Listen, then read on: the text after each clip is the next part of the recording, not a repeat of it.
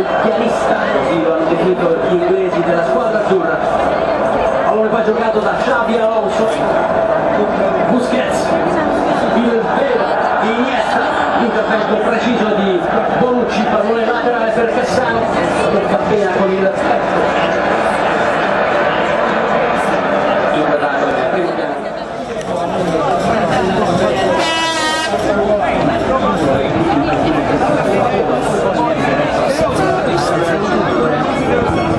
I think